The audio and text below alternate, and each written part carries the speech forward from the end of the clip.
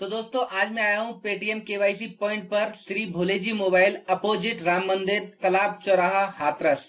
तो इनसे पेटीएम को लेकर मेरे कुछ सवाल हैं जो मुझसे मेरे व्यूअर्स ने पूछे थे। तो पर्सनली इनकी दुकान पर मैं इनसे मिलने आया हूँ और पेटीएम के सवाल पूछने वाला हूँ।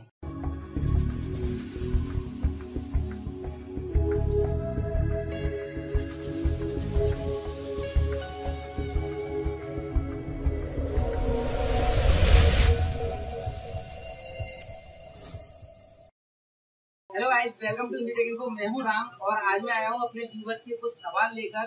भोले जी मोबाइल पर अपोजिट राम मंदिर, अलीगढ़ रोड हाथरस। तो ये हाथरस में है और इनसे कुछ सवाल है केवाईसी से रिलेटेड यहाँ पर बहुत सारी थोड़ी काम प्रॉब्लम हो रही है तो मैं यहाँ पर इन्हें इन्वाइट करना चाहूँगा अपनी शॉप पर। कि ये आधे घंटे बाद मेरी शॉप पर आए और केवाईसी के बारे में विस्तार से बताएँ कि इससे हमें क्या फ़ायदा है केवाईसी कैसे हो सकती है, या फिर इसके लिए क्या क्या डॉक्यूमेंट चाहिए, क्या इसकी कोई एज लिमिट है, या ऐसे बहुत सारे सवाल है जिन्हें ये आधे घंटे बाद आकर हमारी शॉप पर बताए हमें। तो सर, आपको हमारी शॉप पर आना है एंटरप्राइजेज पर आधे घंटे बाद। तो हमारे व्यूवर आपको वॉच करेंगे और ये सारे सारे जो जो इनके सवाल हैं मुझे आपसे इससे बैठ कर सारे पूछने हैं। तो जैसा कि हमने आपको बताया था पंकज जी आ चुके हैं यहाँ पर केवाईसी करने के लिए और आज आपको विस्तार से बताएँगे केवाईसी के बारे में इसके क्या फ़ायदे हैं और क्या नुकसान इससे होने वाले हैं। तो चलिए शुरू करते हैं। पंकज जी से पूछ लेते हैं। हमारा जो आज का पहला क्वेश्चन जो हमसे व्यूवर ने पूछा था पंकज जी ये बताइए कि 18 साल से पहले क्या केवाईसी हो सकती है? नहीं हो सकता। कारण? कारण एज लिमिट टाइम इसमें कि आप अठारह साल से पहले केवाईसी नहीं करा सकते हमारा नेक्स्ट क्वेश्चन है केवाईसी के बाद कैशबैक कैसे मिलेगा? कैशबैक बीस रूपए पर मंथ दो सौ रुपये का कैशबैक मिलेगा बीस रूपए पर मंथ के हिसाब से मिलेगा आपको। जी। अगर हम पहली बार केवाईसी कराते हैं तो उसका क्या बेनिफिट होगा हमें? बेनिफिट ये है कि आप दो सौ रुपये तक का सामान ऑर्डर कर सकते हैं फ्री ऑफ़ कॉस्ट मतलब जैसे ही हम पहली बार केवाईसी कराते हैं तो दो सौ रूपए का सामान फ्री परचेज कर सकते हैं। फ़र्स्ट ऑर्डर पेटीएम से और उसके अलावा एक सौ अस्सी या दो सौ रूपए का जो भी है वो कैशबैक मिलेगा हमें बीस बीस रूपए करके यही है ना? तो केवाईसी कैसे होगी और कहाँ पर होगी? केवाईसी करने के लिए आप अपने पेटीएम वॉलेट में जाकर केवाईसी पॉइंट पे आप सर्च कर सकते हैं। उसमें नाम लिखे आ जाता है। आपके अराउंडेड जो भी है। मतलब आपके आसपास जो भी लोकेशन पे केवाईसी पॉइंट है वहाँ की लोकेशन आपको वहाँ पे मिल जाती है। पता चल जाता है कि यहाँ से आप करा सकते हैं। तो हाथरस में आपकी शॉप कहाँ पर है ये बता दीजिए। मेरी शॉप है राम मंदिर के सामने भोले जी मोबाइल नाम से। और वहाँ पर आप केवाईसी करा सकते हैं। मेरे पास के वाई सी पॉइंट है पेटीएम का। हमारा नेक्स्ट क्वेश्चन है।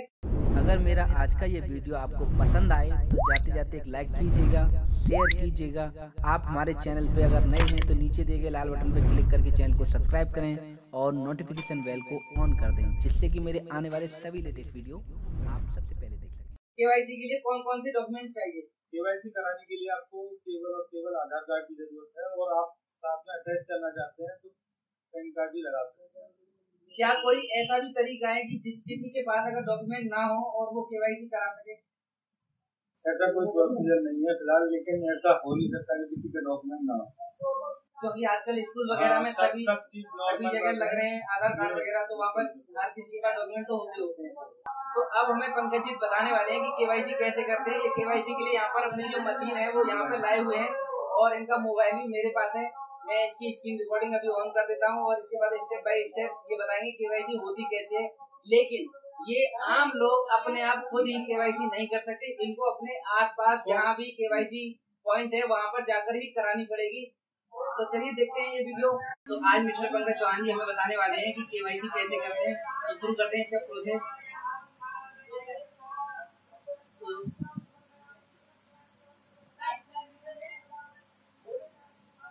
सबसे पहले पेटीएम ओपन करना है। लेकिन यहाँ पर एक चीज़ मैं आपको बता दूँ कि ये केवाईसी आप नहीं कर सकते। आपको आप आपके आसपास जो भी केवाईसी पॉइंट है, वहाँ पर जाकर ही आपको ये सब कराना पड़ेगा। तो मेरे इसको बताने का कोई फ़ायदा नहीं है, लेकिन फिर भी कुछ लोग पूछ रहे थे ये होता कैसे तो उसके लिए मैं बता देता हूँ यहाँ पर। तो यहाँ पर आपको डालना है कस्टमर का मोबाइल नंबर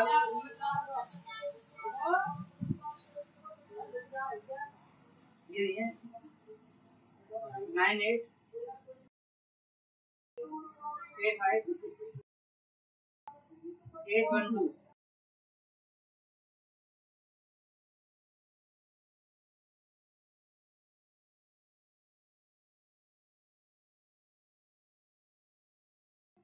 और इसके बाद यहाँ पर इसको प्रोसीड करेंगे और इसका एक वेरिफिकेशन कोड आएगा, यानी कि ओटीपी और यहाँ पर ओटीपी आ चुका है मेरे पास।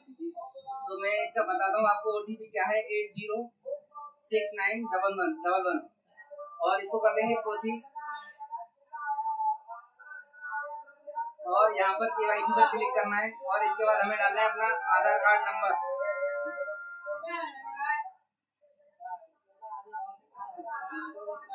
Aadhaar card number डालने के बाद प्रोसीड पर क्लिक कीजिए और एक्टिवेट सेंसर यहाँ पर आ गया है और यहाँ पर हमें स्कैन करना है अपने फिंगर या अंगूठा जो भी आप करना चाहें। और ये देखिए, यहाँ पर place any finger on screen तो यहाँ पर ये दिखा रहा है दिस आधार कार्ड है ऑलरेडी बीन यूज़ मतलब ये आधार कार्ड पहले यूज़ किया जा चुका है, यानी कि मेरे किसी दूसरे नंबर पर ये एक्टिवेट है। अब मैं इस आधार कार्ड से कोई भी केवाईसी नहीं करा सकता। तो आज के लिए इतना ही। Thanks for watching